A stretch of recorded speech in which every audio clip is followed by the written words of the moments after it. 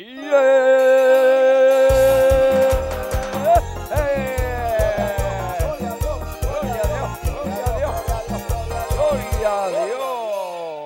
bien, vamos a entrar ahora a la primera enseñanza correspondiente al día de hoy. Estamos estudiando el Evangelio según San Lucas. Hoy estamos en el capítulo 20. Hoy cerramos con el capítulo 20, del 43 al 47 y comenzamos con el capítulo 21, desde el versículo 1 hasta el 17. Allí tendremos nuestra primera lección del día de hoy. Los pastores ministros estamos listos, preparados para predicar la palabra del Señor. La lectura la tendrá nuestro hermano evangelista internacional Lester Noriega. Amén. Vamos a leer con la bendición del Padre, del Hijo y del Espíritu Santo. Hasta que ponga a tus enemigos por estrado de tus pies. David pues le llama Señor, ¿cómo entonces es su hijo? Y oyendo todo el pueblo, dijo a sus discípulos, guardado de los escribas que gusta de andar con ropas largas y aman las salutaciones en las plazas y en las primeras sillas en las sinagogas y los primeros asientos en las cenas que devoran las casas de las viudas y por pretexto hacen largas oraciones, estos recibirán mayor condenación. Padre, te damos gracias, hemos leído tu palabra. Háblanos en esta primera enseñanza, Señor, en este capítulo que vamos a estudiar este día, Dios mío, estos versículos que has puesto, Señor, para enseñar a tu pueblo. Háblanos en voz de cada uno de los ministros y de nuestro pastor Juan Rafael Luque. En el nombre de Jesús, amén y amén. Amén, gloria al Señor. Que Dios me lo bendiga. Estamos felices, contentos porque el Señor está aquí con nosotros y con ustedes también en su casa. Así que pendiente de la palabra de hoy, porque yo estoy seguro que Dios te va a dar y nos va a dar una tremenda bendición. Y recuerde, de la atención que usted le ponga a la palabra del día de hoy, ese va a ser el beneficio que va a recibir de ella. Ok, estamos ubicados en el libro de San Lucas, capítulo 20. Aquí en esta porción tenemos un título, un subtítulo que dice ¿De quién es? De, quién es hijo el Cristo? ¿De quién es hijo el Cristo? Y los versículos me corresponden, que es 43 y 44, tienen mucho que ver con los versículos anteriores. Porque entendemos que los grandes, los intelectuales de ese tiempo, los fariseos, los escribas, ellos sabían que Jesús descendía, había descendido por la parte de David, por eso le decía hijo de David. Pero lo que ellos no sabían era que Jesús, aunque era hombre, aunque era humano, también era Dios. O sea, la parte de, de la divinidad. Ellos conocían la parte física, pero no conocían la parte, la otra parte que era la divinidad de Cristo. Hoy día muchas personas saben que Jesús nació, ok, no hay problema, nació de una mujer, de una virgen llamada María. Eso lo sabe la gente, la historia lo, lo dice, pero lo que muchos niegan, muchas personas que no conocen, niegan que Jesús era o es Dios. Porque ellos no conocen la parte espiritual, sino solamente lo físico y hasta el día de hoy en Israel, nuestros hermanos mayores, ellos no aceptan que Jesús sea Dios. Ellos lo reconocen como un gran maestro, un profeta de esos tiempos que nació de descendencia de David, pero hasta ahí, cuando se le habla a, algunos, a no todos, a algunos hermanos mayores judíos, se le dice que Jesús, el Mesías es Dios, a ellos no les gusta porque ellos lo tienen solamente como una gran persona y, es historia, porque la gente ya todo el mundo habla de Jesús, pero hasta ahí nada más, físicamente hablando. Pero aquí, en el versículo 43, dice, hasta que ponga tus enemigos por estrado de tus pies. porque Esto tiene que ver con el versículo 42. Porque dice, el 42 dice, pues el mismo David dice en el libro de los Salmos, ese es el Salmo 110, versículo 1. Se está refiriendo al libro de los Salmos, capítulo 110, versículo 1. Usted tiene tiempo para que lo revise. Dijo el Señor a mi Señor, dijo el Señor a mí, está hablando David, está hablando David, dijo el Señor a mi Señor, siéntate a mi diestra, siéntate a mi diestra. Dijo, dijo el Señor a mi Señor. Si Jesús, y eso es lo que la inquietud de ellos, bueno, pero si Jesús era hijo de David, ¿cómo es eso? Que va a decir, va a decir, lo presenta, lo que dice, dijo el Señor a mi Señor, pero ¿cómo es eso? Lo que le quería decir, lo que está escrito en el libro del Salmo, dice que el salmista lo profetizó hace mucho tiempo, no sé cuántos años, pero yo creo que más de 700 años atrás, que él lo profetizó, que venía un, un Salvador, que venía un, un hijo de Dios, y la, la, Biblia lo llama como hijo del hombre, hijo del hombre, que es Dios. Y fíjense que él le dice, dijo mi Señor, dijo el Señor a mi Señor, hablando del Padre eterno. Dios le dijo a Jesús, siéntate aquí a mi diestra. A mi Señor. Y David lo llama mi Señor. Pero ¿cómo va a llamar a mi Señor a, a Jesús si era su hijo? Pero ahí está la parte de la divinidad de Cristo.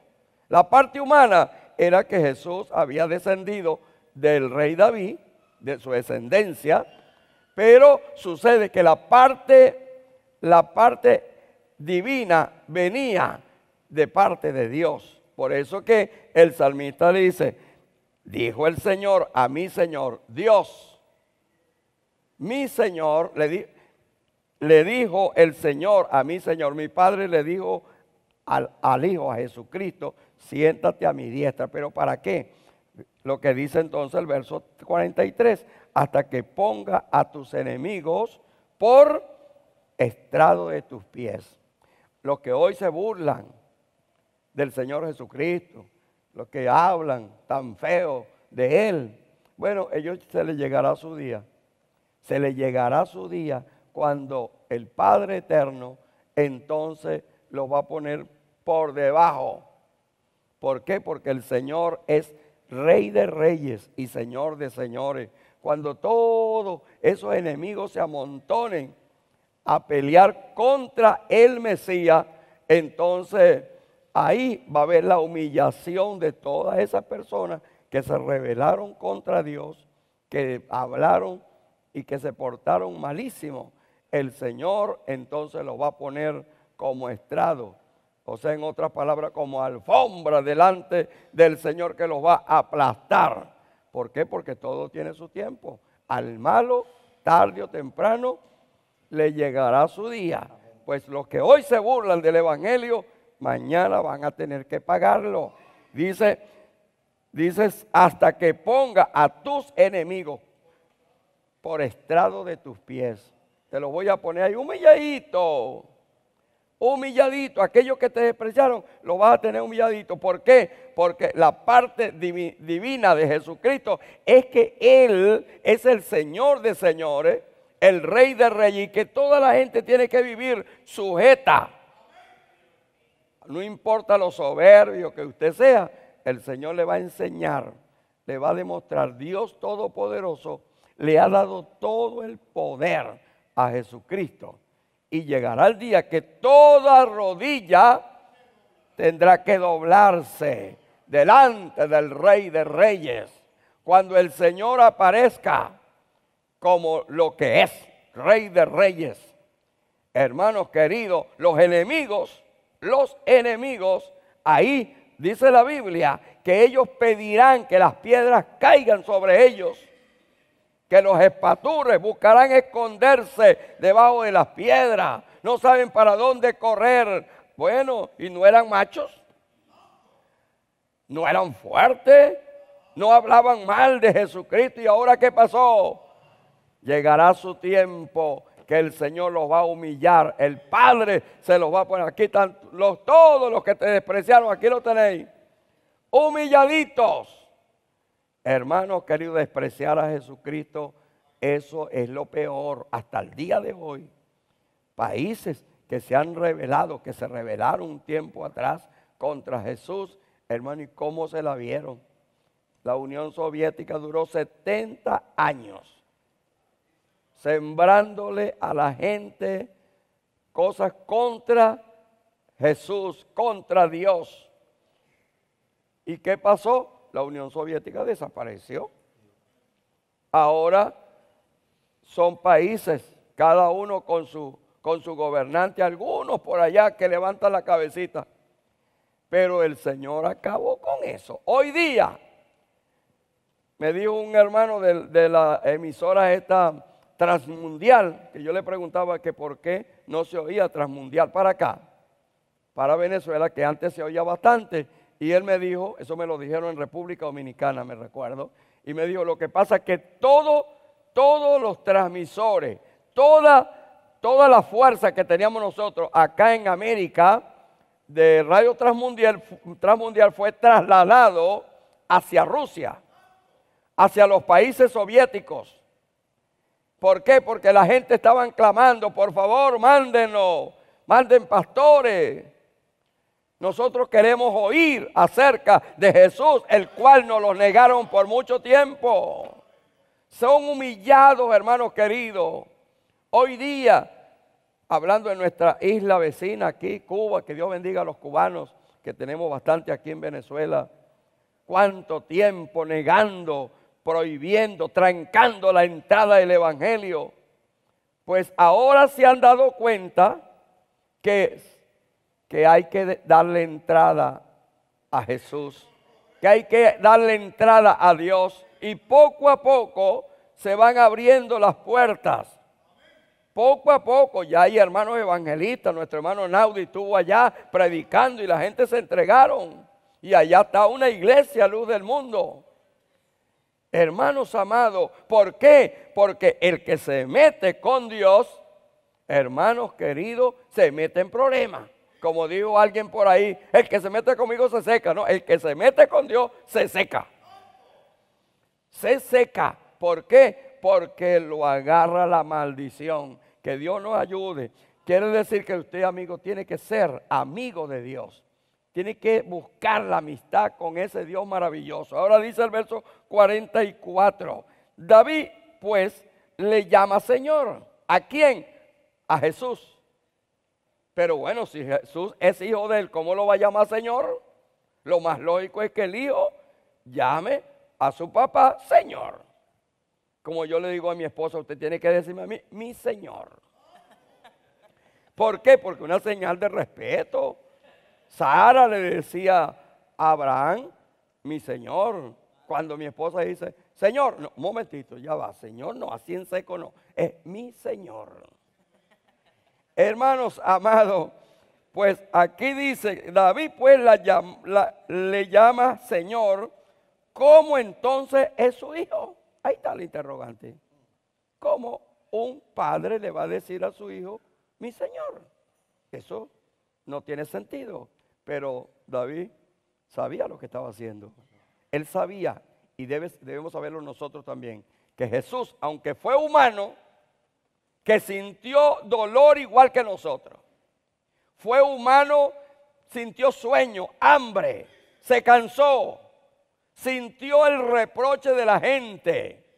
Todo eso lo sintió él porque era humano, pero también es Dios. Él como humano sintió todo lo que a nosotros nos sucede hoy.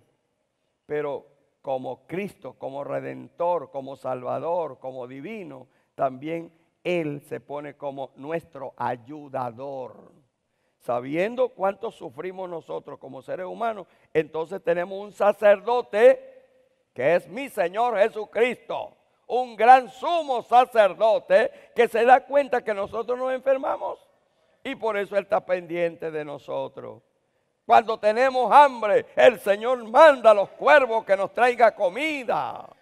¿Por qué? Porque él sintió hambre también. Por eso es que vale la pena tener un Dios que conoce hasta lo más mínimo de nosotros. ¿Qué van a conocer los ídolos, esos que adoran la gente? ¿Qué van a conocer si esos ni sienten nada? Los pellizcan, los, los vuelven pedacitos y no pasa nada. Ah, pero mi Señor Jesucristo, Él siente. Cuando usted lo desprecia, el Señor siente. Él dice, yo di mi vida por ti, vagabundo. Yo entregué mi vida, di mi sangre. Y eso es ser malagradecido. La Biblia nos manda a ser agradecidos. Vamos a ser agradecidos que siendo Dios se hizo hombre para sentir lo que nosotros sentimos hoy día y así poder ayudarnos. ¿Por qué? Porque ¿cómo puede una, una cosa, una persona que nunca sentió una enfermedad, ¿qué va a sentir enfermedad de, los demás? Si nadie ha estado en un hospital manguería por todos lados, ¿qué va a sentir de una persona? eso no es nada. Y le dice al que está manguereando, tranquilo, Dios lo va a ayudar. Ah, pero no siente eso, pues Jesucristo sintió lo que usted y yo sentimos hoy día. Y Él nos dice que Él estará con nosotros todos los días hasta el fin del mundo y que es nuestro ayudador. Yo te ayudo dijo el Señor, y está aquí con nosotros para ayudarnos. Siente hambre, siente soledad, Jesucristo te acompaña, Jesucristo te va a alimentar. Y en estos matutinos, todos los días, nos alimentamos y bien alimentados. ¿Y sabe con qué? No con el pan de la panadería, con levadura, no, este, este es pan sólido. El que come de este pan, ¿qué dice la Biblia? no tendrá hambre jamás. Por eso que de aquí salimos panzoncito y con el corazón llenito. Que Dios me los bendiga y que Dios me los guarde. Amén.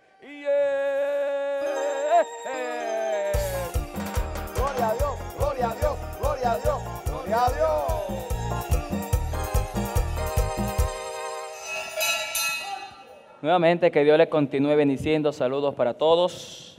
Me corresponde ahora el verso 45, 46, 47. Jesús acusa a los escribas.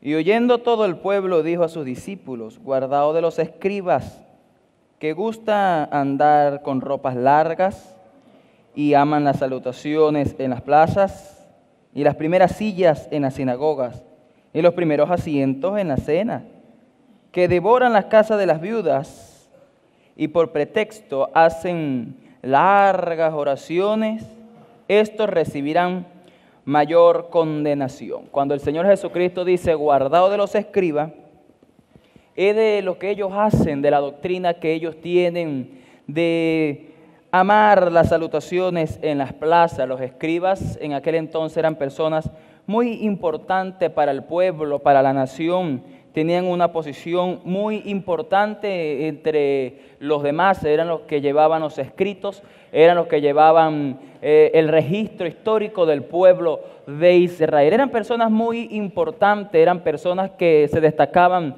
entre los demás, cualquiera podía identificar a un escriba por la forma del vestuario, como hoy día cualquiera puede identificar a un evangélico luz del mundo por el vestuario eh, saben que nosotros, la luz del mundo, usamos nuestra camisita azul, nuestro pantalón azul y nuestra corbata roja.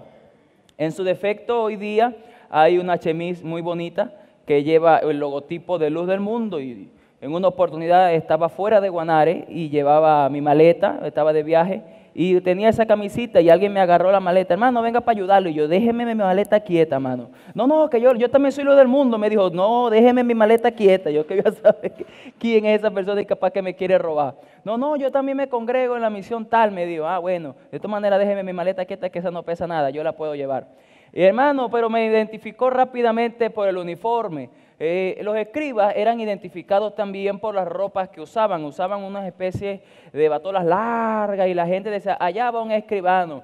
Y habían personas que deseaban tener un escriba en la casa y quién no desea que nuestro hermano Juan Luque vaya y almuerce en su casa, Dios mío. La gente dice, algún día tuviera el pastor para que viniera para acá y, cenara aquí un pollito asado o, viniera para que se comiera una sopa de picatierra, una sopa de palometa. Bueno, a mí me gusta la palometa frita, mano. Y oye, Dios mío, eran personas que amaban tener o, deseaban tener a los escribas en, la, en las casas. Ahora, estos escribas aprovechaban su posición para aprovecharse eh, de los pobres, de las viudas, y eran personas, además, que amaban las salutaciones. Eran personas que se sentían muy sensibles cuando llegaban a un lugar y nadie los mencionaba. Se iban mal, se iban tristes. Dios mío, ¿por qué no me mencionaron? ¿Por qué no dijeron que llegué? ¿Acaso es que no soy una persona importante? Yo como que no vuelvo a ir para ese culto porque qué va, no me mencionaron. ¿Qué más dice Jesucristo de los escribas? Dice que aman las salutaciones en las plazas y en las primeras sillas en la sinagoga. Fíjese, son personas que se sientan no en las primeras sillas para escuchar la palabra de Dios, porque la Biblia dice que cuando nosotros vayamos a la casa del Señor, primero que guardemos el pie, o sea, que dejemos de estar caminando y segundo, que nos acerquemos más para oír. Sin embargo, estos escribas se acercaban no para oír, sino para que los vieran. Oh, allí está don fulano, allí está don sutano, allá llegó don mengano, fíjese. Y ellos se sentían muy importantes entre los demás porque amaban las salutaciones en las plazas y en las primeras sillas de la sinagoga se sentaban. ¿Qué más dice el Señor Jesucristo que nos guardemos de los escribas? Dice, y de los primeros asientos en la cena. Son esas personas que llegan tempranito a una fiesta, mano, y se sientan a la mesa. Vamos a ver a qué hora me van a servir, a qué hora me van a servir. Vamos a ver que no ha llegado nada, pero ni el agua ha pasado. Ahora estos escribas se, sentaban a la fiesta de personas importantes, de los ricos, de personas que hacían fiestas con esplendidez y ellos no se iban a sentar atrás, que va, ellos se iban a sentar adelante donde podían agarrar la mejor presa de, del pavo, donde podían agarrar la mejor presa del pollo, donde podían agarrar la mejor presa de la res y decían, no, no, yo me voy a sentar de primerito, que va, porque yo soy don fulano y a mí no me van a dejar atrás, a mí no me van a dejar en la mesa 47, a mí me tienen que poner en la mesa 1 o en la mesa 3, cuanto mucho, porque yo tengo que estar adelante. Y de todas estas cosas el Señor Jesucristo advierte a sus discípulos que se guarden. ¿Por qué les advierte? Porque el Señor Jesucristo sabe que Pedro iba a ser una persona importante. El Señor Jesucristo sabe que Juan iba a ser una persona importante, que Esteban iba a ser una persona importante, que todos sus discípulos iban a ser personas importantes y por ende la gente también iban a anhelar que ellos fueran a su casa a la hora de la cena, a la hora de la comida para compartir. Sin embargo, el Señor Jesucristo no quería que sus discípulos se aprovecharan de esa autoridad, se aprovecharan de ese poder para aprovecharse de los demás. Hay personas que por ser una persona con mucha autoridad en la iglesia, le gusta llegar a la hora del almuerzo. Buenas. ¿Cómo están por aquí? El Señor me inquietó a orar por ustedes, pero exactamente a la hora del almuerzo no puede llegar a las 4 de la tarde, no puede llegar a las 3 de la tarde y orar por esa familia, sino tiene que ser a la hora del almuerzo, a la hora de la cena, a la hora cuando están comiendo, a esa hora es que llegan porque sienten una inquietud larga. El Señor Jesucristo le dice, devoran las casas de las viudas y por pretexto hacen largas oraciones. Fíjese, es que les llega la hora de orar, a la hora hora del desayuno, a la hora del almuerzo, a la hora de la cena, es para devorar, es para comer, es para ver qué traen, para ver qué sustraen de ese lugar. Miren, hay personas que cómo les gusta visitar a esos empresarios y cómo me inquieta el Señor a orar por ustedes, pero es para ver qué ofrendita le saca, para ver qué regalito le saca, para ver qué perfume le saca, para ver qué camisa le saca. ¿Qué dice el Señor Jesucristo de estas personas? Estos recibirán mayor condenación. ¿Por qué? Porque no lo están haciendo por amor a Dios, no están hablando de Jesucristo por amor a Jesucristo, no están hablando del Evangelio por amor a Jesucristo, sino que lo están haciendo por un beneficio propio, sino que lo están haciendo porque saben que recibirán recompensa de los hombres, saben que van a recibir un regalo, saben que van a recibir una ofrenda, saben que van a almorzar, saben que van a comer. No lo están haciendo por amor a la obra de Dios, sino que lo están haciendo por amor a beneficio propio. El Señor Jesucristo dice, esto recibirán mayor condenación. Yo sé que este mensaje pica a muchas personas que están haciendo esto. Yo sé que este mensaje pica a muchas personas que lo están haciendo, que lo están viviendo y por eso no aplauden, por eso no gritan. Pero a los que no lo están haciendo, a los que verdaderamente están predicando el Evangelio, síganlo haciendo porque recibirán una recompensa grande en el reino de los cielos. Que Dios le bendiga y que Dios le guarde.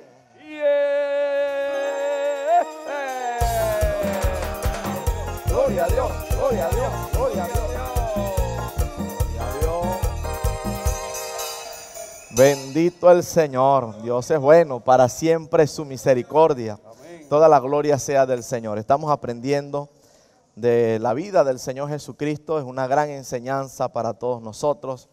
Eh, ahora vamos a pasar al capítulo 21, Lucas capítulo 21, donde habla acerca de la ofrenda de la viuda. Ah, esto es un tema muy importante para la gente que no le gusta ofrendar. Ay, Dios mío, agárrense los bolsillos. Dice, levantando los ojos, ¿quién levantó los ojos? Jesús. Levantando los ojos, vio a los ricos que echaban sus ofrendas en el arca de las ofrendas vio también a una viuda muy pobre que echaba allí dos blancas y dijo, en verdad os digo que esta viuda pobre echó más que todos, porque todos aquellos echaron para las ofrendas de Dios de lo que les sobraba, mas esta de su pobreza echó todo el sustento que tenía. Fíjese cómo comienza el versículo, que Jesús alzando los ojos, quiere decir que la ofrenda que nosotros damos está en un lugar alto para el Señor. No está en un lugar bajo, está en un lugar alto. Los ricos, los pobres, todos cuando van a ofrendar tienen que subir delante de la presencia del Señor a colocar su ofrenda. El Señor la tiene en muy estima, la ofrenda que nosotros damos. Pero es muy importante que todos los que me están escuchando, los que me están viendo, sepan que hay una diferencia entre ofrendar y diezmar. Cuando se habla de diezmo, se habla del 10%. Hay personas que ganan mil bolívares y entonces dicen, no, yo voy a, diezmar y dan 1500, ¿no? Eh, dan 150 de mil bolívares. No, está dando una ofrenda, porque el diezmo de mil bolívares serían 100 bolívares.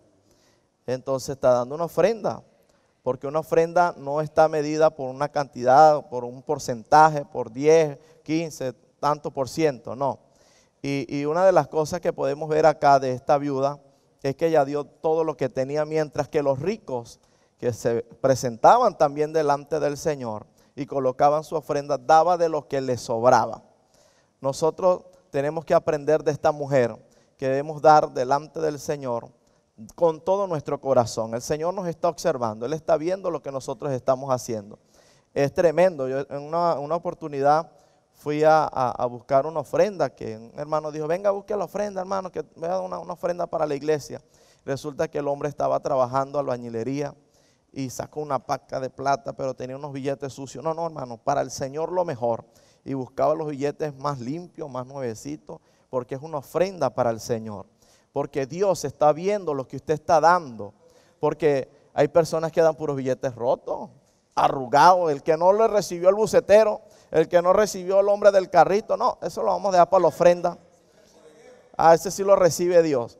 Entonces, eh, el Señor le gusta que nosotros cuando vayamos a ofrendar algo sea lo mejor. Incluso cuando se iba a, a dar una ofrenda a Dios, por ejemplo, de animal, el Señor exigía, el Señor Dios exigía que la ofrenda, por ejemplo, de un cordero fuera sin, sin, ningún tipo de defecto, que fuera llegar tuerto o el, o el que salió mocho de una pata, entonces es el que va a ofrendar. No, el Señor exige lo mejor, porque Él está dispuesto a darnos lo mejor para bendecirnos. Él se dio por completo por nosotros. Él está observando lo que tú estás dando. Y una de las finanzas que Dios dejó para la iglesia, para que el Evangelio del Señor sea extendido por toda la tierra, son los diezmos y las ofrendas.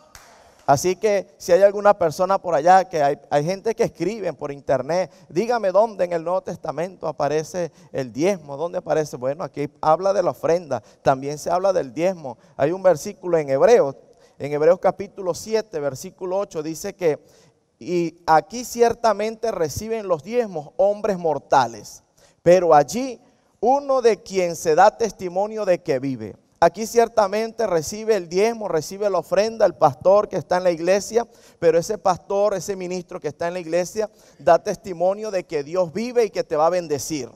Ese pastor que está en la iglesia, que está allí pidiéndole al Señor para que nada falte en nuestros hogares, clamando delante del Señor, una antorcha encendida siempre. Y cuando usted llega a la iglesia, consigue la iglesia adornada, limpiecita. Eso es parte de lo que nosotros muchas veces damos, la ofrenda, damos el diezmo. Y Dios está pendiente de lo que cuando usted da de corazón, con alegría. Por eso dice el versículo que Dios bendice es saldador alegre. La gente que da con alegría. Si usted está dando, pensando, oye, eh, yo metí una ofrenda por aquí y otra por acá, pero ¿cuál, ¿cuál de las dos doy? No me acuerdo si esta era la que tenía del bolsillo izquierdo, la que tenía más o la del bolsillo derecho. Entonces tiene una lucha en su mente porque no sabe si va a dar mucho o va a dar poco. Hermano, vamos a dar para el Señor, que del Señor tenemos todo. Imagínese si del Señor recibimos el oxígeno. Si usted le tocara comprar todos los, meses una bombona de oxígeno cargada en la espalda para poder respirar y el Señor se lo da gratis. Usted se va al centro comercial con mil bolívares y eso, mire, dice, esto no es nada, ¿qué voy a hacer yo para el centro comercial con mil bolívares? Pero resulta que va para la iglesia con 100 bolívares y le parece que es mucho. ¿Ah? Muchos 100 bolívares de una ofrenda. Señor, ay Dios mío. Tenemos que ser agradecidos con Dios porque de Dios vienen todas las cosas. Gracias a Él estamos respirando, gracias a Él vivimos, gracias a Él tenemos fuerza. Usted no puede decir, no, pero es que, ¿por qué yo voy a dar mi dinero si ese es producto de mi esfuerzo? No trabaje para que usted se dé cuenta que no voy a tener nada. Si no trabajo, no tengo nada. Escucha, amigo, no hable de esa manera.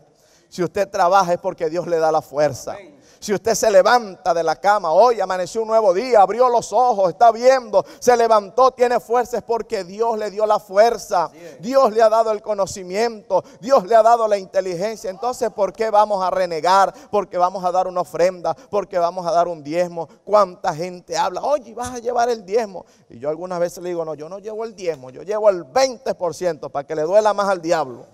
Que el Señor lo reprenda. Amén porque de Dios recibimos todo. Y la gente que no da nada, la gente que vive todo el tiempo criticando y hablando, vive en pobreza, vive en miseria, todo el tiempo vive quejándose. Pero los que le damos al Señor, vivimos en victoria. Cada vez que nos preguntan, hermano, ¿cómo está? En victoria con Cristo, el Señor ha suplido mis necesidades, porque no somos pichirres, no somos mezquinos, damos para la obra de Dios, para que se extienda. Así como Dios estuvo pendiente de la ofrenda de esta viuda, Dios está pendiente de la ofrenda de su pueblo. Que Dios le bendiga, Dios le guarde. Amén.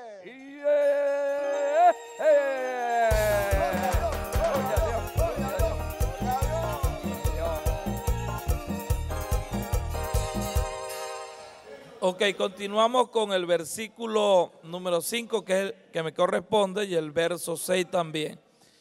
Y a unos que hablaban de que el templo estaba adornado de hermosas piedras y ofrendas votivas, dijo, en cuanto a estas cosas que veis, días vendrán en que no quedará piedra sobre piedra que no sea destruida.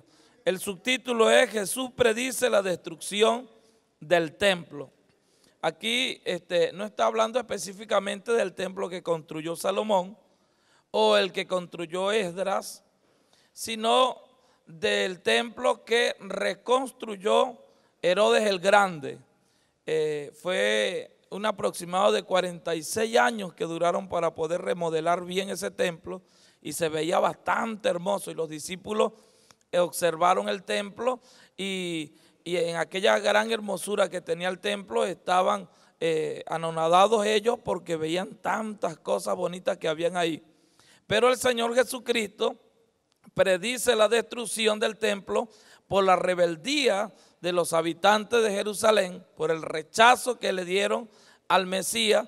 El Señor predice la destrucción y en el año 70 el templo fue destruido por los romanos y fue saqueada Jerusalén en su totalidad. El Señor hermano es grande en misericordia Y Él no quiere que nosotros pongamos nuestra mirada en las cosas terrenales. Hoy en día se siguen construyendo templos. En Jerusalén, el lugar donde está el templo, donde estaba el templo, este, ahora hay una mezquita de los musulmanes. Pero Dios en su misericordia va a ayudar al pueblo de Israel para la reconstrucción del templo nuevamente.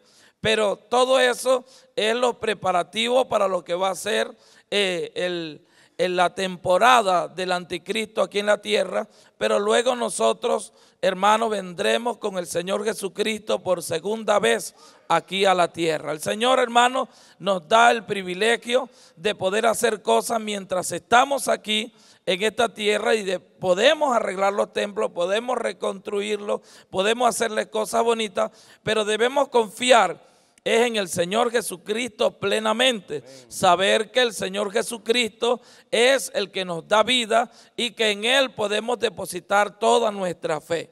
Cuando nosotros depositamos toda nuestra fe en el Señor Jesucristo, sabemos realmente que en el cielo nos esperan cosas mucho mejores, cosas más grandes, para que no estemos enamorados del templo. Hay personas que se quedan con el templo porque ellos fueron los que lo construyeron, porque ellos fueron los que gastaron plata, porque ellos fueron... No, usted hace algo, es para la obra de Dios. Usted cuando hace algo es para la gloria del Señor y no para su propia gloria. El Señor quiere que pongamos nuestra confianza en el Señor.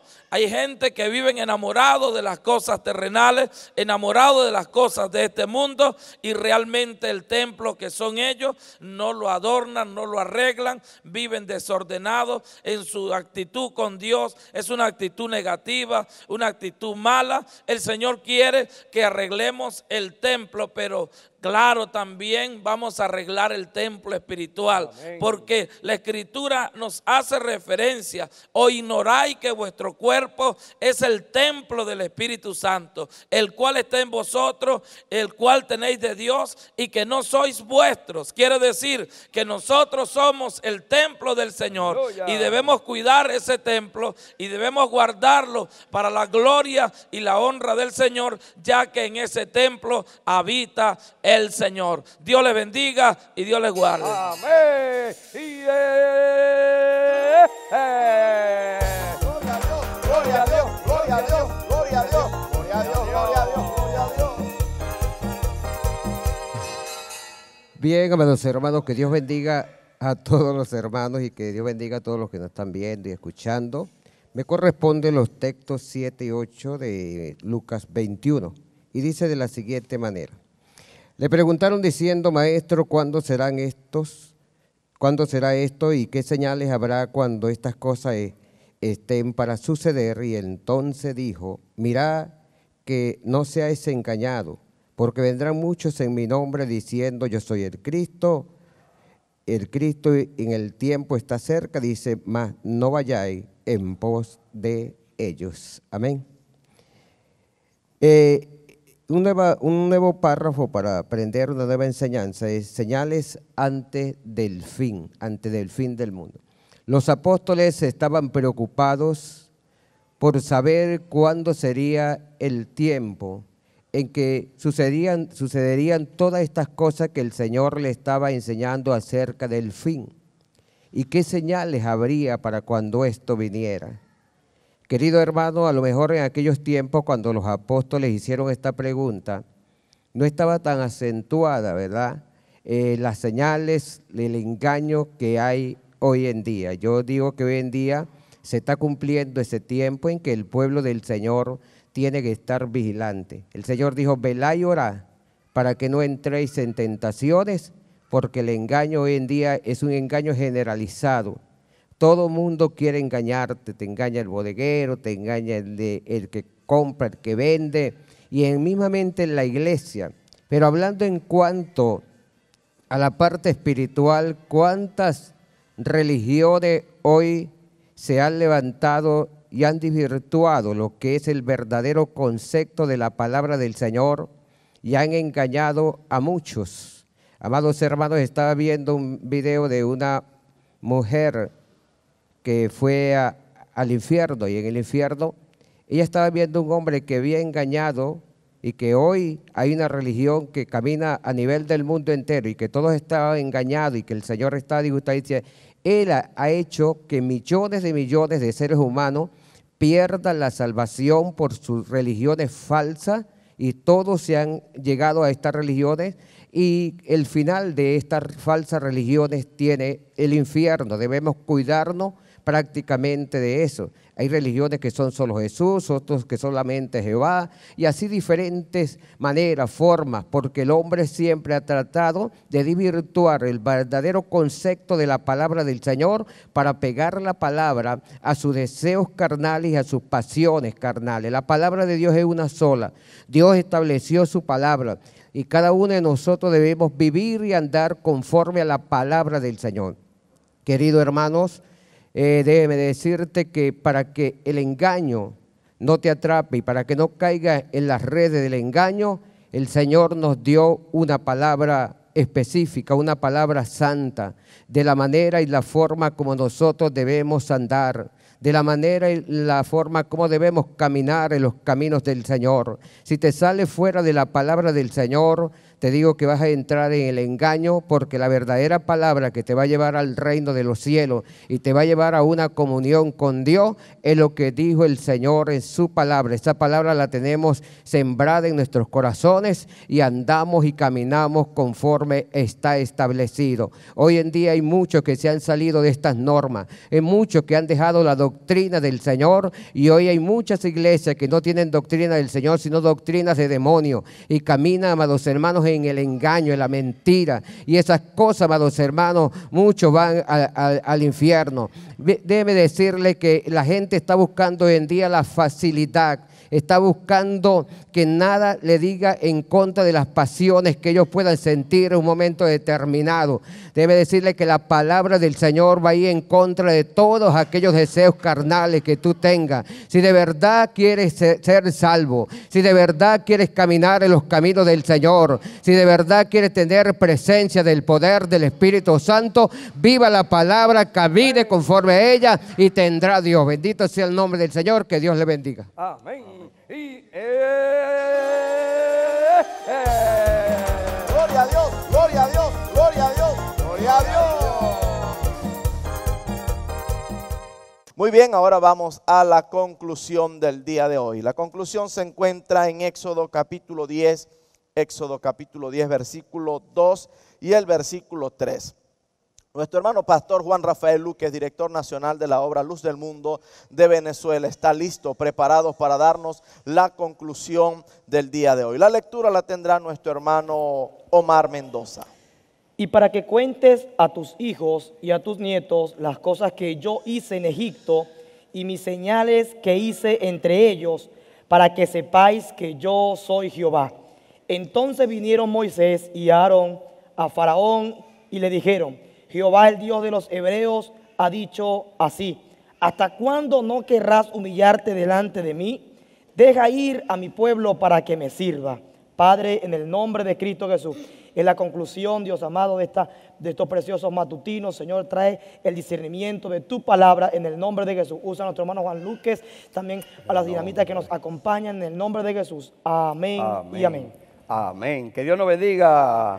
Que Dios nos bendiga, mis amados. Estamos listos para la palabra de este día. Ya lo dijo nuestro hermano. Eh, la lectura la tenemos en el libro de Éxodo, capítulo 10, versículos 2 y 3. El versículo 2 dice, y para que cuenten para que cuentes a tus hijos y a tus nietos las cosas que yo hice en Egipto y mis señales que hice entre ellos para que sepáis que yo soy Jehová. Siempre Dios pendiente de todo.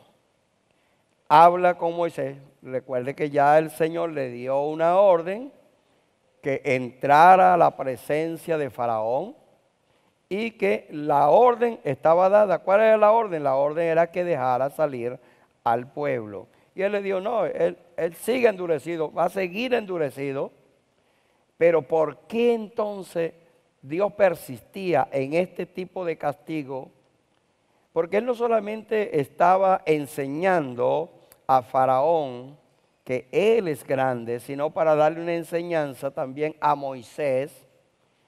¿Por qué? Porque Moisés también le hacía falta, a todos nosotros nos hace falta las experiencias. ¿Por qué? No es que nosotros vivimos de las experiencias de los demás, pero sí vivimos de las experiencias nuestras. Tenía que saber Moisés, pero ¿por qué todo esto? Pues si Dios podía agarrar a, a Faraón y matarlo y se acaba el problema. Si ese era el tropiezo, vamos a quitarlo. Como dicen algunos, y bueno, si Dios sabe que el diablo es el malo, ¿por qué no lo mata? ¿Por qué no mata al diablo? No, porque entonces nosotros nos convertiríamos solamente en unos robots. Como es solamente el bien, tenemos que irnos por ahí. Pero Dios siempre dejó el bien, Dios le dio libertad al hombre que le dejó el bien y le permite también que escoja el mal, si eso es lo que quiere. Y aquí Jehová le dice a Moisés una cosa muy importante, el versículo 2, y para que cuentes a tus hijos y a tus nietos. Y hasta el día de hoy, lo que dejó Moisés escrito, lo que él vio, que quedó escrito en la Biblia, hasta el día de hoy, nuestros hermanos mayores, y aún en Egipto, reconocen lo que hizo Moisés, cómo Dios trabajó entre los hijos hasta el día de hoy. Quiere decir que la enseñanza caló no solamente en Moisés, sino en sus hijos, en sus nietos y en todas esas generaciones que han pasado. En Israel tienen una le ven una importancia muy grande a lo que es los libros pentateucos, los que escribió o donde se habla acerca de la salida, de la creación, todos los libros de Moisés los cinco libros de Moisés. Y eso es importante, quiere decir que la idea de Dios caló, que era que le hiciera saber a sus hijos y a su nieto todo lo que había sucedido, lo que estaba haciendo, lo que iba a hacer en Egipto. Quiere decir que tomando en cuenta esto, es importante lo que nosotros le dejemos a nuestros hijos. Es importante. Moisés quizás no le dejó la vara, la vara la utilizó él. No apareció un hijo de Moisés por allá. ¿Y la vara dónde está? A mí, me, a mí me corresponde la vara. No, la vara la tenía Moisés. Ya. No podían reclamar todos la vara, pero le dejó lo que está escrito.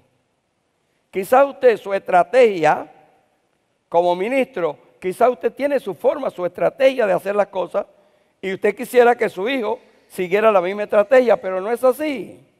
Porque a cada quien Dios le da como Él quiere. Quizá usted, de repente, usted le tira el pañuelo a un paralítico y se levanta, pero llega a su hijo y en vez de tirarle un pañuelo, le tira el zapato. Bueno, porque eso, lo que Dios da, es una cosa y lo que usted le puede dejar a sus hijos es otra cosa. Entonces, Aquí lo importante es qué le dejamos a nuestros hijos y a nuestros nietos. ¿Qué le podemos dejar nosotros? Hermano, lo que a nosotros, los testimonios, aún las cosas malas que nos suceden, esas son experiencias que los hijos nuestros y los nietos nuestros se van, a recordar por dónde pasamos. ¿Entiende? Entonces, mis, hijos, un ejemplo, que yo he pasado por diferentes etapas, ellos están observando eso. Ellos han visto como Dios me ha ayudado, me ha protegido, porque ellos me vieron muerto. Pero ellos tienen que contar el día de mañana, mi papá lo vimos muerto y el Señor lo resucitó. El mejor ejemplo que nosotros podemos dejarle a nuestros hijos y la mejor herencia es hablarle del amor de Dios, de su misericordia. Porque usted le deja una casa y el hijo puede venderla ese otro día después que usted se muera. No, a mí no me gusta esta casa ni me gusta este pueblo. Yo me voy para Margarita, ya sí me gusta. Se acabó. Ya no hay más nada. Pero cuando usted le deja lo que Moisés, lo que Jehová le dijo a Moisés que le dejara, que le dejara la experiencia, las, lo que había sucedido con Egipto, las señales y los milagros, eso se queda en el alma. Todo lo demás se acaba. El dinero se acaba, la casa se acaba, carro se acaba, todo eso se acaba. Pero el testimonio que usted da del Señor Jesucristo, del Padre Eterno y del Espíritu Santo, eso queda clavado en sus hijos. Y aunque ellos en su temprana edad quizás se disparen por otra, pero la Biblia dice, instruye al niño en su camino o en su carrera. Y dice que cuando llegue a edades, entonces él se va a dar cuenta se va a dar cuenta qué fue lo que sus padres le enseñaron. Por eso que es la importancia que ha hecho Dios con usted. Que sus hijos lo sepan y que los hijos vean de verdad que lo que usted tiene se lo ha dado Dios. ¿En qué sentido? Un nuevo cambio, o sea, un cambio en su vida, una forma de, tratar con, con la mamá, o sea, con la esposa, la mamá de sus hijos, la forma de usted conducirse dentro de la casa. ¿Por qué? Porque hay padres que le dan todo a sus hijos, pero le dan un mal ejemplo. ¿De qué sirve eso? Entonces, vale mucho más el ejemplo de un padre, de una madre, que cualquier cosa. Moisés recibe esto, dice, para que cuentes a tus hijos, le dijo Dios. No vaya, no vaya a hacer esta broma. Déjelo abierto. Cuéntale a tus hijos y a tus nietos las cosas que yo hice en Egipto. Hasta el día de hoy, ¿cuántos años han pasado? Ya no quedará nada de, esa gente, de ese tiempo, ya ni los huesitos habrán. Pero sí está escrito lo que Jehová hizo con Egipto y cómo Dios libró a Moisés también. Porque Moisés, el Señor lo libró porque el faraón podía mandarlo a matar. Pero ahí estuvo Dios con él. Eso es un testimonio para nuestros hijos. Dice, y mis señales, mis señales, todas esas plagas que cayeron sobre Egipto, es una demostración que Dios es grande, que es Dios el dueño de todas las cosas. Dice que hice entre ellos para que sepáis cuál era, cuál era el propósito. El propósito es para que tus hijos, tus nietos, todas las generaciones que vengan sepan que yo soy Jehová de los ejércitos. Y eso es lo más lindo, que podamos decirle hoy a nuestra generación de relevo que no pongan su mirada en las cosas materiales. A nuestra generación de relevo que no se entretengan tanto con este mundo, que basen su vida espiritual en la experiencia con el Dios eterno. Que sepan que todo perece, todo se acaba, pero si Jehová está en nosotros, pues nosotros haremos historia por mucho tiempo y después que nos vayamos de esta tierra, seguiremos haciendo historia porque estaremos en el cielo con Jesucristo de Nazaret. Dice aquí entonces vinieron Moisés y Aarón a Faraón y le dijeron, Jehová, el Dios de los hebreos, ha dicho así. ¿Cómo ha dicho Jehová? ¿Hasta cuándo no querrás humillarte delante de mí? Deja ir a mi pueblo para que me sirva. Esa era la orden. Esa era la orden. El Dios de los hebreos. La Biblia habla de los hebreos, no habla de, lo, de esa. Aquí no dice que es el Dios de los filisteos.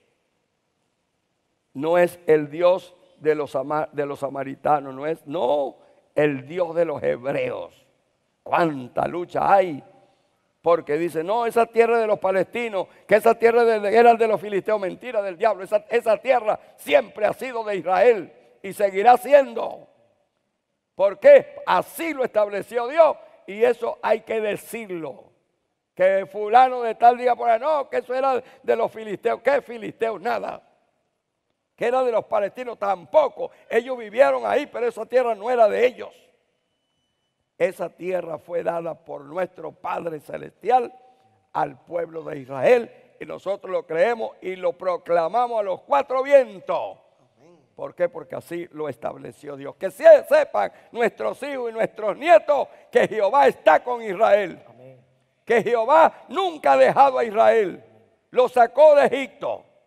Lo llevó a su tierra y ahí lo está honrando. Y una demostración que es la más grande que se puede ver es que el pueblo de Israel, aunque con tantos enemigos, ellos siguen multiplicándose cada día más. Mientras más los oprimen, más los judíos se multiplican. Porque con mis hermanos judíos está la bendición de Dios. Porque recuerde que ellos obedecen lo que Jehová le dijo a Moisés, que era para sus hijos y sus nietos. Bueno, aquí están los hijos y los nietos y toda esa generación de nuestros hermanos judíos que todavía respetan lo que dice la Biblia, o sea, esa parte de la Biblia, el Pentateuco, ellos lo reconocen porque eso fue dado por Dios a Moisés. Que Dios me los bendiga Amén. y que Dios me los guarde. Amén. Gloria a Dios, gloria a Dios, gloria a Dios, gloria a Dios. Gloria a Dios. Buenos días, hermano, que el Señor le bendiga, el Señor les guarde. Me ha correspondido Éxodo 9:34 que dice así. Pero cuando el faraón vio que había cesado la lluvia, el granizo y los truenos, volvió a pecar. No solo él se puso terco, sino también sus servidores. Aquí, aquí nos habla el Señor que el faraón estaba endurecido porque estaba en pecado, ¿verdad? Pero el faraón, después que Dios, por- porque Moisés clamó, esto había cesado, ¿verdad? El faraón después que vio que todo esto cesó, después que toda la lluvia pasó, pasó la tempestad, pasaron todas estas cosas, ahí el faraón volvió a pecar. Hoy en día pasa esto con muchos de nosotros, con amigos, hermanos. El Señor hace un milagro en nosotros. El Señor quizás nos salva de la muerte, nos libra de cualquier cosa, nos sana de una enfermedad. Y nosotros en vez de ser agradecidos con Él, le damos la espalda a Él y seguimos pecando.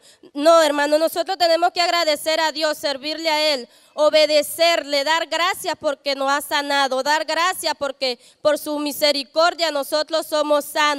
Porque si no, si no fuera por nuestro Señor Jesucristo, nosotros no fuéramos sanos. Debemos tener un corazón alegre, gozoso. Si el Señor nos ha sanado, debemos dar testimonio y ser agradecidos. Que el Señor le bendiga y que el Señor le guarde. Gloria a Dios. Gloria a Dios. Gloria a Dios. Gloria a Dios. Gloria a Dios.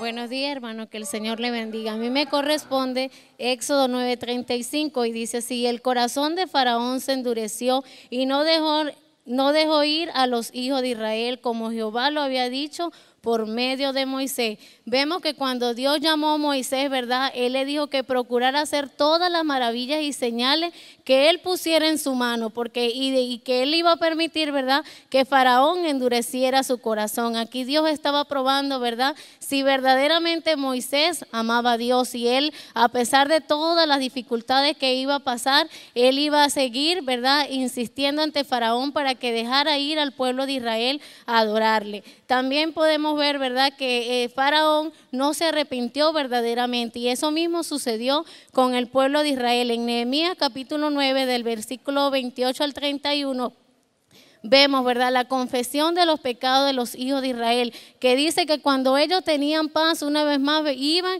y seguían en sus pecados, pero cuando se veían que estaban en man- entregados en las manos de sus enemigos, ¿verdad? Ellos se arrepentían y volvían a clamar a Dios y Dios los perdonaba sus pecados. Hoy, querido amigo, hermano, ¿verdad? Dios nos está recordando que Él es un Dios misericordioso, que Él no está viendo las veces que nosotros pequemos, sino las veces que decidamos, ¿verdad? Arrepentirnos de salir al pecado. No importa por cuántas eh, dificultades que estemos atravesando, lo importante es que tomemos una actitud y decidamos salir del pecado. Que Dios le bendiga y Dios les guarde. Amén.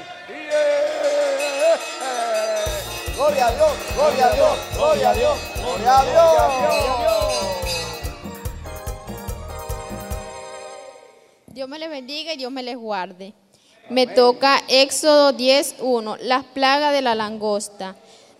Jehová dijo a Moisés, entra en la presencia de Faraón, porque yo he endurecido su corazón y el de su siervo, para mostrar entre ellos, para que sepáis que yo soy Jehová. Aquí tengo otra versión la plaga de, de las langostas. El Señor le dijo a Moisés, ve a hablar con el faraón. En realidad soy yo quien ha endurecido su corazón y el de su funcionario para realizar entre ellos mis señales, mis señales milagrosas. Bueno, aquí nos dice el Señor que, que Moisés fue obediente. Cuando Jehová este, le dijo que fuera delante de la, delante de la presencia de Faraón, este, él, fue él fue obediente y obedeció, y obedeció este, lo, que el Jehová le había encomendado. Y, el, corazón de Faraón se endureció porque este, Faraón era, malo. Este, el Faraón aún no había aceptado al Señor, no conocía nada de, de las maravillas que el Señor hace en nuestras vidas, pero cuando Faraón entendió lo que Moisés le estaba diciendo, este, este Faraón este, cambió, cambió su forma de ser y, y- también a su siervo. Sus siervos al ver que, que Faraón no, no tenía su corazón endurecido, ellos a lo mejor pensaban por qué Faraón tiene el corazón endurecido. Y, y a medida que, que Moisés este, insistía en entrar en la presencia del Faraón, este, Faraón fue, ay Señor, Faraón, Faraón este, cambió, este, más adelante las hermanas van a terminar de dar el, el- el- el- la conclusión de, de esto. Amén. Que el Señor me le bendiga y que el Señor me les guarde. Gloria a Dios, gloria a Dios, gloria a Dios. Gloria a Dios.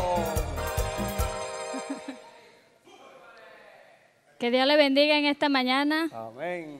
Este, me tocó Éxodo 10, 4 y 5 y dice así, y si aún rehúsa dejarlo ir, he aquí que mañana yo traeré sobre tu territorio langosta, la cual cubrirá la faz de la tierra, de modo de que no pueda verse la tierra y ella comerá que escapó lo que os quedó de granizo, comerá asimismo todo árbol que os fructifica en el campo.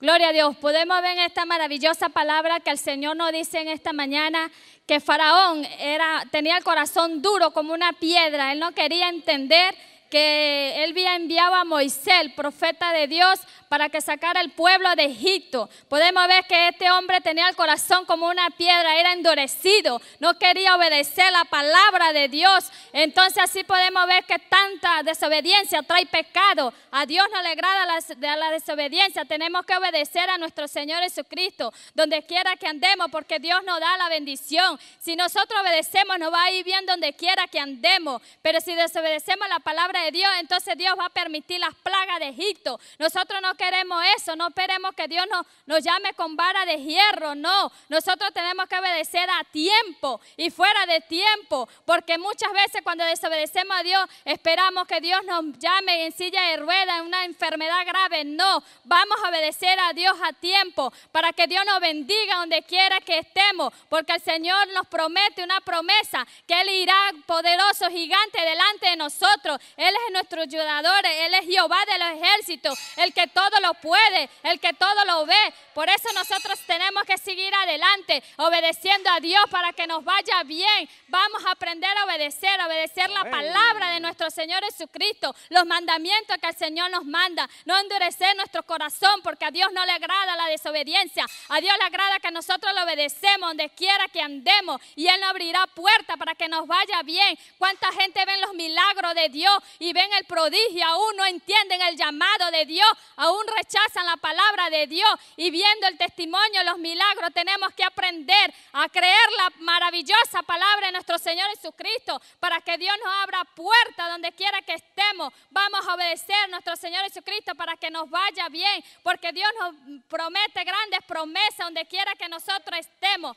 Vamos a obedecer porque el Espíritu Santo nos da dominio propio. Él dice que no nos ha puesto espíritu de cobardía, sino de dominio propio. Nosotros tenemos que obedecer esta maravillosa palabra, porque esta es la que nos va a dar la vida eterna, la que nos va a llevar al reino de los cielos Aleluya. a través del Espíritu Santo. Él es el que nos da la salvación. Él prometió salvar la vida eterna y Él nos la da. Hoy, amado amigo, entienda que Dios le está haciendo un llamado a través de esto matutino. No endurezca su corazón. Ven a Cristo y Él te dará las peticiones de tu corazón. Él te abrirá las puertas grandes en el nombre de Jesús. Que Dios me lo bendiga. Aleluya. Amén. Amén. Y, eh, eh. Gloria a Dios, gloria a Dios, gloria a Dios. Gloria a Dios. Que Dios nos bendiga. Amén. Ya hemos oído la palabra del Señor. Usted en su casa donde se encontraba o donde se encuentra, ya escuchó la palabra del Señor, ya escuchamos la palabra, sabemos lo que nos conviene hacer. Ser obedientes al Señor, muy obedientes, para que así no nos alcancen las plagas. El Señor nos va a envolver con su gracia para librarnos, para librarnos. Un hermano dijo aquí que, que si un mosquito lo picaba se moría el mosquito, pero no es porque el hermano tenga veneno en la, en la sangre, no, es porque sucede que la sangre es la sangre santa y como se la está robando el mosquito, no es valedero. Se muere por ladrón. Que el Señor lo reprenda. Ok, vamos a hacer la oración. Vamos a orar. Vamos a orar. Vamos a pedirle perdón al Señor. Si en algo lo hemos ofendido, de repente usted, amigo o amiga, todavía no ha entregado su corazón a Jesucristo. Bueno, llegó el momento de, poner el corazón a la disposición del Señor Jesucristo. Así que vamos a poner nuestra mano en el corazón. Recuerde la mano derecha en su corazón y va a inclinar su cabeza y va a cerrar sus ojos. Si va manejando, no, no cierre los ojos. Diga conmigo, Señor Jesús. Señor Jesús, Gracias. Gracias. Tú eres bueno. Tú eres bueno. Tú hasta el día de hoy día de me andabas buscando. me andabas buscando. Y hoy, Y hoy me has encontrado. me has encontrado. Señor Jesús, Señor Jesús. gracias, Gracias. por venir a esta tierra Mira esta tierra. y morir, Y morir en la cruz del Calvario, cruz del Calvario. derramar tu sangre Derramar tu sangre por mis culpas, por mis culpas, por todas mis maldades. todas mis maldades. Señor Jesús, Señor Jesús, te pido perdón. Te pido perdón. Perdóname, Señor, Perdóname, Señor. y límpiame con tu Y sangre. límpiame con tu sangre. Inscribe mi nombre, en el libro de la vida. Señor Jesús, gracias, por haberme librado, del infierno. Me has librado, de ese infierno terrible. Y hoy día soy libre. Soy salvo. Abro mi corazón, para recibirte, como mi Salvador, personal. Señor Jesús, me arrepiento arrepiento de todas mis maldades, de todas mis de maldades, todos mis todos pecados. mis pecados. Me arrepiento Me arrepiento que de ahora en ahora adelante yo soy libre. Yo soy libre. Soy libre. Soy libre. Tú me has hecho libre. has hecho libre. Gracias, Señor. Gracias, Señor. Dame la fuerza, Dame la fuerza para seguir adelante. para seguir adelante, para predicarle, para a mi familia, a mi familia, a mis vecinos. Dame la fuerza, Dame la fuerza para resistir, para resistir al diablo, al diablo, al pecado, al pecado, a la tentación. a la tentación. Gracias, Señor, Gracias, Señor, porque yo sé porque yo que de sé ahora en adelante, que de ahora en adelante yo soy tu hijo soy y tu tú hijo eres mi padre. eres Gracias, padre. Señor. Gracias, ahora Señor. soy hijo tuyo. Ahora soy hijo tuyo. Gracias, gracias, Gracias. porque tú eres bueno Porque tú eres y bueno. para siempre es Y tu para misericordia. siempre es tu misericordia. Amén y amén. y amén.